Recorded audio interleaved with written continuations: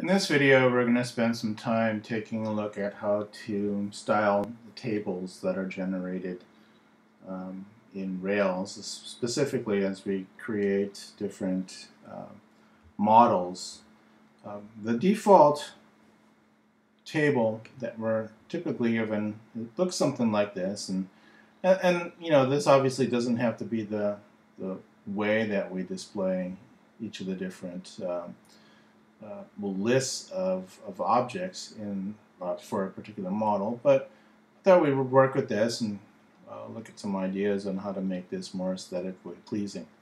One of the things um, that you know I typically expect to see is that you know if I've got a row I, that I should be able to click on the items that are there. So you know click on the the course number or the the, um, the name for instance uh, instead of having something like a show button. The other thing is, you know, I'd like to add, I don't know, icons or something like that next to the edit and the destroy um, to visually give me a sense of what it is I'm supposed to be able to do with that. So I'm going to spend a little bit of time playing around with that. So let's start off with the tables.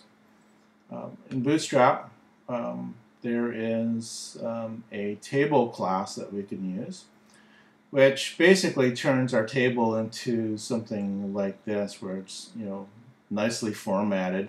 There are actually a number of different types of tables that are available to us, but let's start off with this, just this.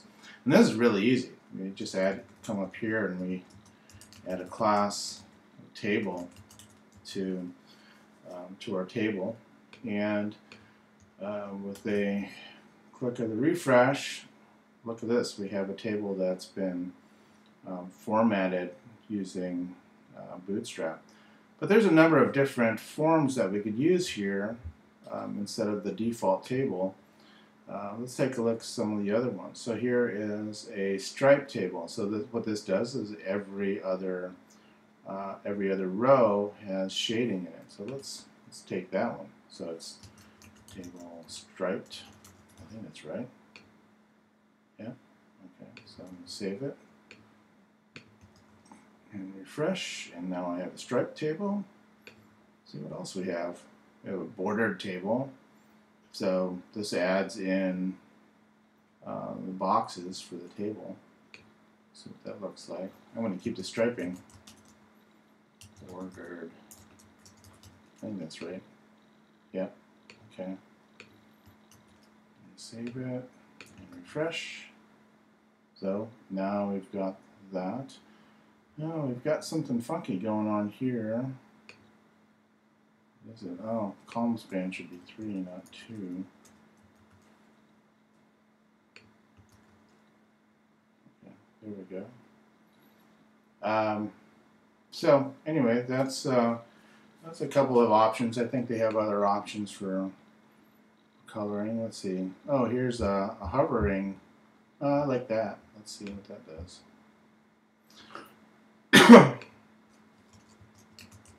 Table, what is it? Hover. Let's see what this does. Okay, now when now the problem with this is when I see that I expect that to be able to click on these rows, right? And so we want to fix that somehow. Um, I'm going to get rid of the bordering. I think that kind of looks ugly. Refresh. Okay, so now we have a table that, you know, where I can um, mouse over I know then which row I've actually moused over. So, um, anyway, so that's, uh, are there others here? So we can have a condensed table, so it makes, uh, makes the, the rows a little thinner.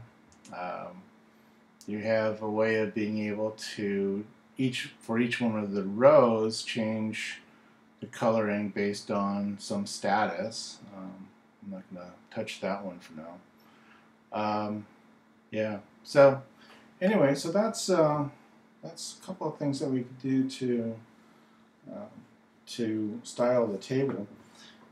Uh, let's end here. In the next uh, video, I'm going to show you how to change the.